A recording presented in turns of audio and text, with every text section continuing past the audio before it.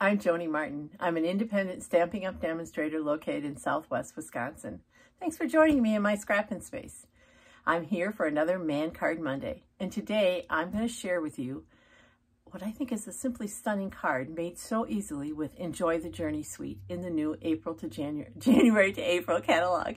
Thanks for joining me. Here's the Man Card Monday we're going to make. Isn't that pretty? I'm hoping you can see the beautiful embossing in the background. Let me show you what we're starting with. We're using product from the January to April mini catalog. And on page 58 and 59 is the product suite called Enjoy the Journey.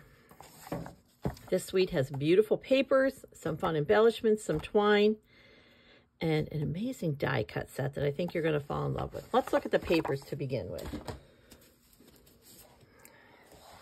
So you get two of each of these. And these are those that we're gonna, I'm going to talk with you about how to cut. So it's this one. Look at the trees. This says water to me, and honestly, I'm not sure which way it goes. It might be one you could cut again because these look more like clouds. This is a beautiful one. I just think these holler scrapbook, but I'm going to show you again how we can do a great card with them. Look at these pretty colors. And this is the one I'm going to use today. So I'm going to set that aside because we're going to cut it. But I want to show you a couple more pieces from the suite that I love. We're going to use a die cut from the coordinating dies that are called Greatest Journey. And let's see, you're probably getting glare from the plastic. So in addition to the biker that I'm going to use, you can cut a tent and clouds, a runner, someone um, holding a lantern, a walking stick, all kinds of things for outdoors.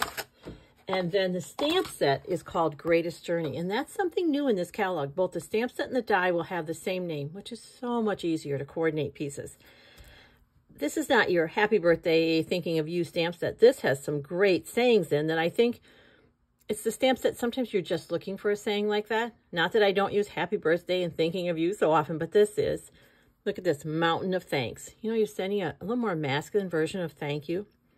Wishing you joy in this next adventure. New job, high school graduation. We're in this together. You belong among the stars. That's a great thank you. This moment is the start of something great, again, a new venture, and I'm so inspired by your courage. So I think it does say, congratulations, um, thinking of you in just a different way.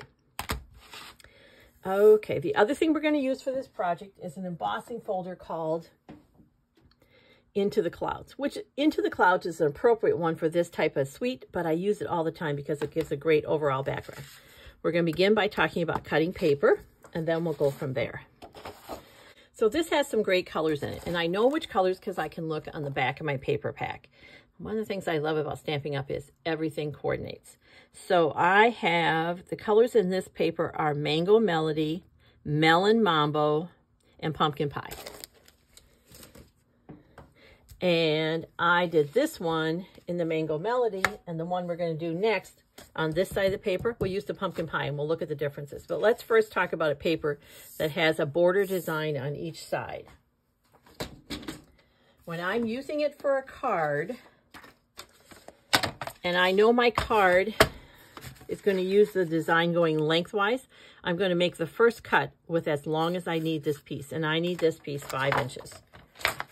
So I'm going to cut five inches here. Then I'm going to cut the width. And I know I need this piece three and three quarters. So just a quick reminder on every time I cut with you, I remind you that your paper is going to be pushed against the lip. That's going to hold it in place. I'm going to make sure it's at the measurement I need and then cut pushing towards that lip so everything stays in place. And I can get from a 12 by 12 sheet six card fronts. So I'm going to get three that I'm coordinating with the Mango Melody. And let's do that one more time. We're going to take the edge, we're going to put it against here, and I need it to be five inches. So I'm making sure it's at the five and pushed against the lip, and then I'm going to cut up. And then I need it to be three and three quarters. Again, pushed against the lip and cut up. And that's how I'm going to get six card fronts from a 12 by 12 sheet of paper. This paper would also, I see some great scrapbook layouts because you could cut that as a six inch border and go half your paper. All right, paper is cut. Talking about cards, not scrapbooks here. I need to stay on task. So as I said, I'm gonna do pumpkin pie with this one. I didn't want to go as pink as some of those and the pumpkin pie seemed to work with it very well. The first thing we're going to do is cut out that little bike rider. And I'm going to cut him out of black from the center of my mat.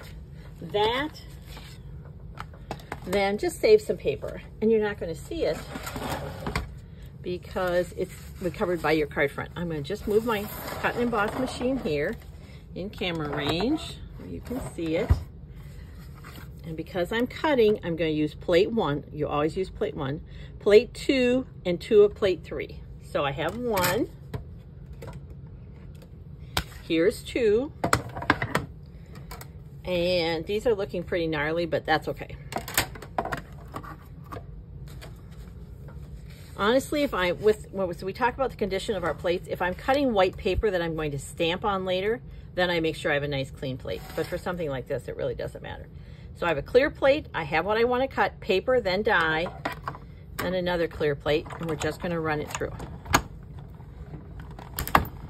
And you can run it all the way through. I'm going to hit my camera stand. So I'm going to pull this back, finish running it through. It's not going to go very far because we're going to emboss with it next. So that's missing from the center of my mat. And here's my little bike rider. I think this is a card you could use for so many occasions. Any of those occasions on the front of that stamp set. I'm just poking out the pieces. Let's get my paper back here.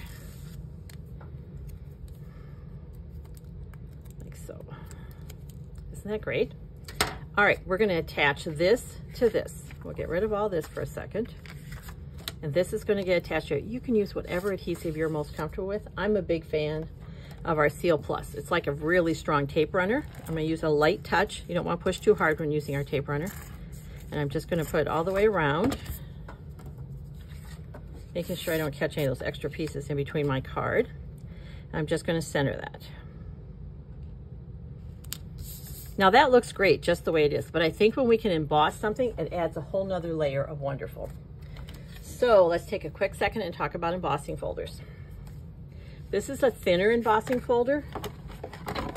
So on here, it's considered a standard embossing folder and it's gonna use one again and two threes, which are our clears. And when you put something in an embossing folder, look at what direction you want the embossing to go. And I kind of want the cloud look to go across my paper. So I'm gonna put it in this way. It would also work going this way. I just, for me, this looks like this. I'm gonna line it up with here. I'm gonna make sure my Stampin' Up logo is on top and I'm gonna make sure fold first. When I closed this, I captured some air. And by going fold first, I'm kind of pushing the air away from my embossing folder and not fighting with it. So remember we said one and two threes. When you're using an embossing folder, it's the time to use those grungiest plates because it doesn't matter. Your paper's protected inside your embossing folder. I have something from my last die cut that wants to hang around. There we go. And then we're gonna run that through. Just like so. And I, again, I'm gonna back up. Just make a little noise because I don't wanna hit my camera stand. And let's see if we're somewhat back in the camera. And there we go. I hope you can see that difference. It's stunning. I'm gonna take one second and fold up my cut and emboss. I love that it takes up so little room on my work table. And let's make a card. Now we don't wanna make a card this amazing and then send it in a naked envelope. So I grabbed another piece of paper from that pack. Had that pretty, we were talking about the waves on it. On the other side are the colors from my card. And I'm gonna add that to my envelope flap.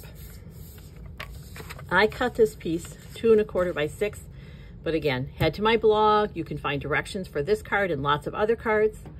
or I will have the link for the actual post in my blog beneath the video. So I'm going to put glue on here. And because my envelope flap is smaller than the other paper, the glue goes on the envelope flap. You want to put your, if you're gluing two sheets of paper together, the glue always goes on the smaller piece. It just saves getting glue where you don't want it.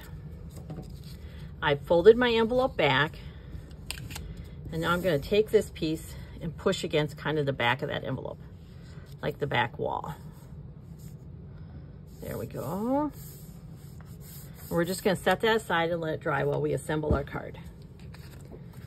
I have here pumpkin pie, the, car the color, not the actual treat. And I'm going to use my grid paper to make sure I'm straight, and I'm going to fold it. Again, this card really is very easy to come together, but delivers such impact. I have set aside a white insert, but I don't know what the card's going to be yet. Sometimes I wait till I need a card and then add the sentiment I need. And because there's no sentiment on the front of the card, it can be used for so many things. So this I'll just add to my card later, you know, just keep it in there and add the sentiment when I need it. So now this is going to go here. See how that kind of pulls out those oranges? I'm going to quick grab this though. I wanted a tighter fold on there. And the bone folder will do that. All right, so we're going to add this. Like so. And we're not going to see our cutout because that will be, that's covered. And then we're going to center it on here. Here's the little cutout, that the die cut that we did. Doesn't that stand out on there? I'm going to grab dimensionals. And remember, dimensionals are little pieces of foam that kind of help your project stand up or stand out, however. They are sticky on one side, and we have them in both black and white. I'm grabbing the black minis, and I'm going to attach them just along here. So like, I'll probably put one there, one here,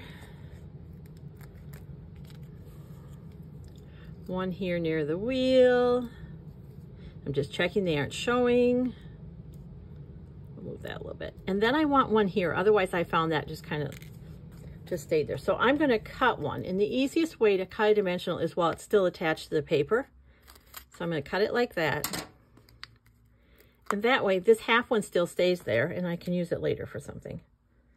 Okay, so there's where my dimensionals are. We're going to pull the backing off. We don't want those on our project. And especially in the winter when it gets kind of staticky, they stick to everything. There we go. And this one's being a little more difficult. We'll peel from this way. And there. Look at that card. Embossed, has some texture, mountains coming behind this bike rider. Don't you wish you were biking with this guy? My husband and I enjoy bike riding. The last couple years have gotten kind of busy in our life and we haven't done as much, but that's our goal this summer to get back on those bikes. Okay, all I have left is to trim my envelope flap. And in a very short time, as you can see, we've created a stunning card. And it's a card for Man Card Monday, but I don't think it has to be a card that we just send to males. Okay, check that out. And again, same piece of paper. Depending which side of the paper you use, you get a very different look. But equally as stunning. There we go. So this was from one side of that same piece of paper and this was from the other. Thanks for watching my video. I love, it's like a little bit having people in my scrapping space with me when you join me on a video. I appreciate it. If you like what you saw, maybe click that like button. And if you haven't yet subscribed to my Scrappin With Joni YouTube, this is your chance. Hit subscribe. One more request. If you have some paper crafting friends who you think would enjoy my videos also, please let them know about me. Until next time, take care, stay well, and keep creating. It's good for you.